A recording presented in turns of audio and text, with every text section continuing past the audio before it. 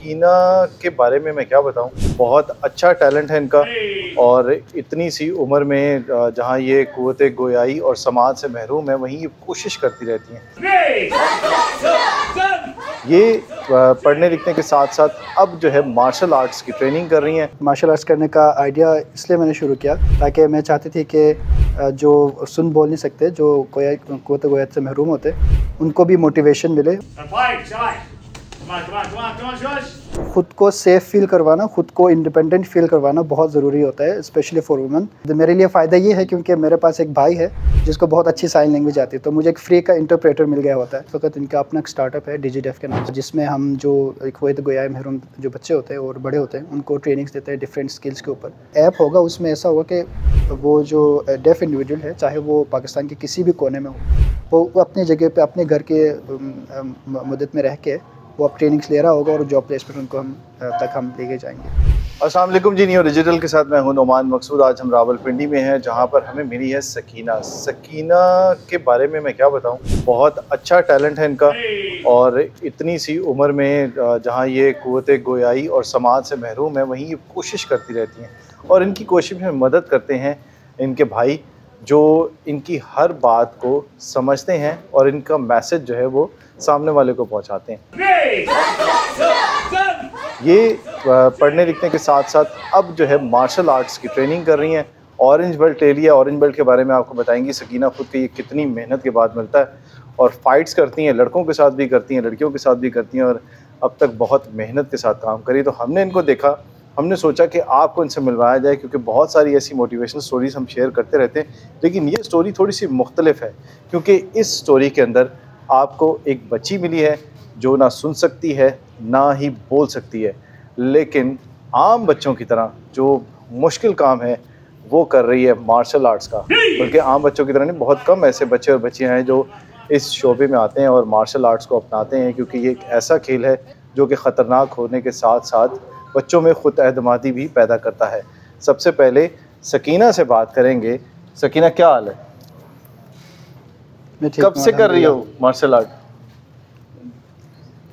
मुझे ऑलमोस्ट कोई तीन चार महीने हो गए ये मार्शल आर्ट्स करते हुए। और मैं मेरे मार्शल आर्ट्स करने का आइडिया इसलिए मैंने शुरू किया ताकि मैं चाहती थी कि जो सुन बोल नहीं सकते जो कोया कोत गोयत से महरूम होते उनको भी मोटिवेशन मिले और मैं उनको एज अ एज एग्ज़ाम्पल में शो करवाना चाहती थी।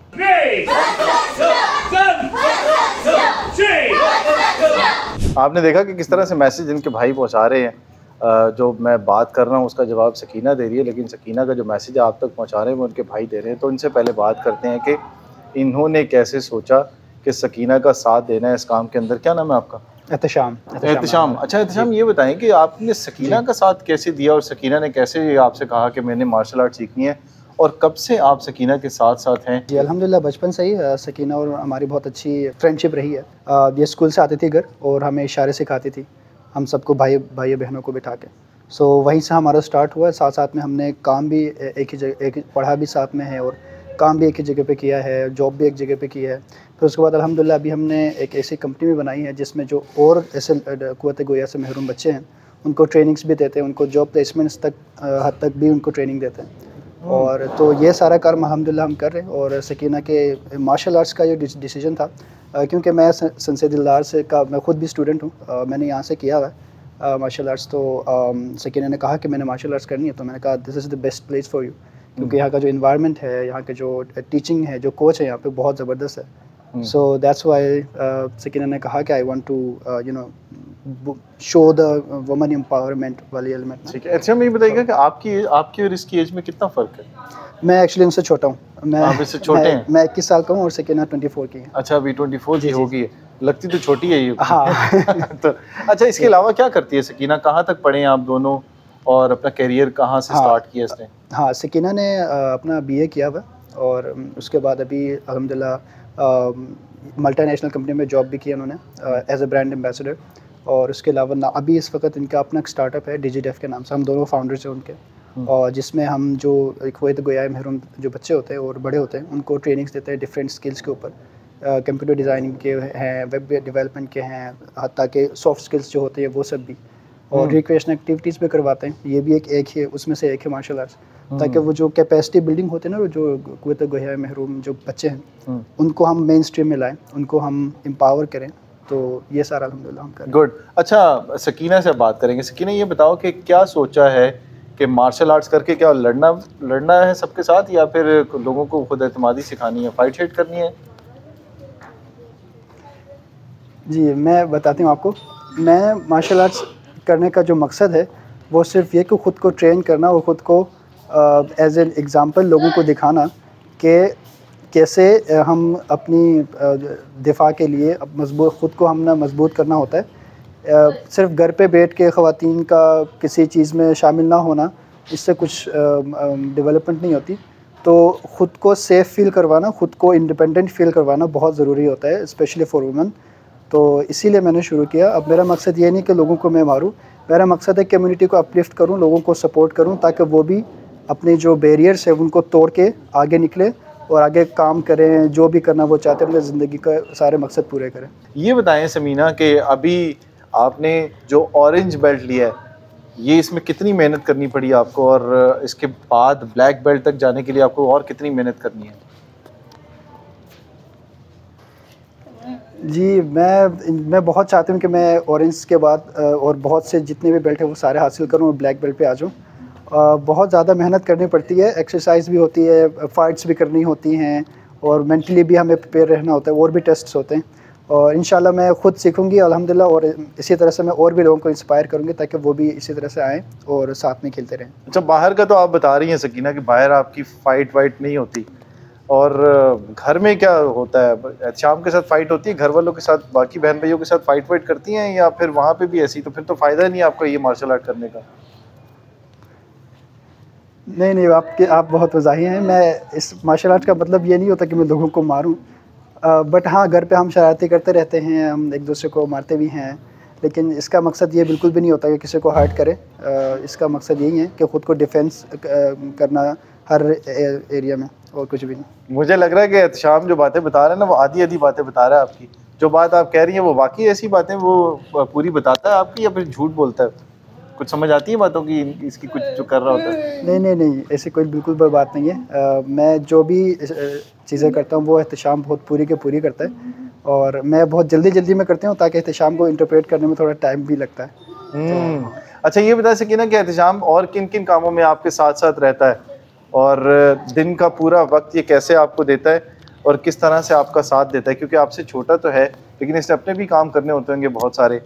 और भी बहुत सारे काम करने होते होंगे। ज़ाहिर बाहर घूमना होता होगा दोस्तों के साथ और बाकी एक्टिविटीज़ में भी अपने जाना होता होगा दोस्तों के साथ। तो कैसे मैनेज करती हैं सब कुछ एहतशाम को साथ रख के? जी बिल्कुल। एहतशाम बिल्कुल मेरे साथ होते हैं मेरे भाई हैं। अ, जो हमारा काम होता है कंपनी में उसमें हम जॉब जहाँ पे जाते हैं वहाँ पे इंटरप्रेट के लिए इंटरप्रिटेशन वगैरह करते हैं और जो भी चीज़ें होती हैं हम टीम को मैनेज करते हैं दोनों साथ में। उसके अलावा हम घूमने भी जाते हैं, हमारे और भी फ्रेंड्स हैं जो डेफ हैं, जिनके साथ हम बहुत घूमने जाते हैं पार्क्स में जाते हैं। तो अब अब मेरे लिए फ़ायदा ये है क्योंकि मेरे पास एक भाई है, जिसको बहुत अच्छी साइन लैंग्वेज आती है तो मुझे एक फ्री का इंटरप्रेटर मिल गया होता है। तो इसको मैं हर जगह पे घुमाते भी हूँ, हम जाते हैं साथ में, वो ज़ाहिर है अपने काम भी करते हैं। वैसे मैं बताऊँ, मैं अपने फ्रेंड्स के साथ भी घूमता हूँ, लेकिन मुझे ज़्यादा मज़ा जो आता है ना, वो इनके कंपनी के कंपनी के साथ होता है। क्योंकि आपको पता है जो मेरे भी फ्रेंड्स हैं और इनमें डिफरेंस ही है कि ये बिल्कुल भी है ना वो शाय नहीं होते किसी भी जगह पर हम जहाँ पर भी जाते हैं फुल मस्ती करते हैं पार्क्स में भी जाते हैं राइड्स भी लेते हैं तो तो बहुत अच्छा होता है। ठीक है। हम्म। आपकी सकीना शादी हो जाती है और आप अलग हो जाती हैं तो फिर ये सब कुछ कैसे मैनेज करने का सोचा है कि एहतशाम तो वहाँ पे नहीं होगा एहतशाम की भी शादी हो जाएगी एहतशाम भी अलग हो जाएगा आप भी शादी हो जाएगी आप भी अलग हो जाएँगी तो फिर ये सब मार्शल आर्ट्स और लाइफ के अंदर जो एक रंगीन आपकी लाइफ है फुल ऑफ़ इंजॉय आप के साथ आप अपनी ज़िंदगी गुजार रही हैं और बच्चों को भी सिखा रही हैं अपनी जैसी लड़कियों को भी सिखा रही हैं लड़कों को भी सिखा रही हैं। तो फिर उसके बाद क्या सोचा है कि शादी तो करनी है एक दफ़ा एहतशाम ने भी अलग होना है और आपने भी अलग होना है फिर क्या सोचा है कि फिर क्या करना है? अ, मुझे ऐसा लगता है कि मैं ऐसा सोचता हूँ कि शादी करने के बाद हम अलग तो होंगे बट ऐसा नहीं होगा कि हम बिल्कुल ही अलग हों। हमारे जो गोल है हमारा जो अ, अ, वो है कि एम्पावर करना है दूसरे डेफ इंडिविजुअल्स को उनको ट्रेनिंग देनी है उनको जॉब प्लेसमेंट्स देनी है उनको आगे बढ़ाना है उनको एम्पावर करना है। तो वो हम उसके साथ साथ भी करेंगे। ज़ाहिर है शादी के बाद हमारे और भी रोल्स होते हैं लेकिन जो हमारे गोल्स हैं वो हम उसके बाद भी ऐसे ही हम करते रहेंगे। डिफरेंट जगहों पे भी जाएँगे डिफरेंट इवेंट्स करेंगे ट्रेनिंग्स करेंगे और अगर अगर शादी हो जाती तो तब भी हम अपने जो हस्बैंड्स होंगे या वाइफ होंगे उनके साथ भी आके हम कर लेंगे। हर जगह पे पार्टिसिपेट करेंगे। ठीक है।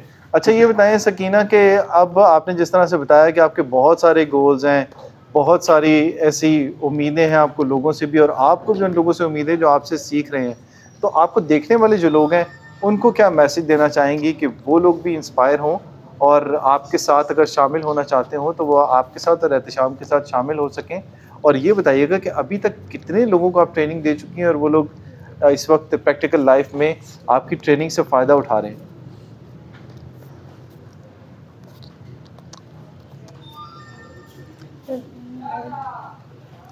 जी, पहले तो मैं आपको ये बताती हूँ कि जो हमारा स्टार्टअप है, उसमें सिर्फ़ हम ट्रेनिंग्स का ही नहीं देते हैं।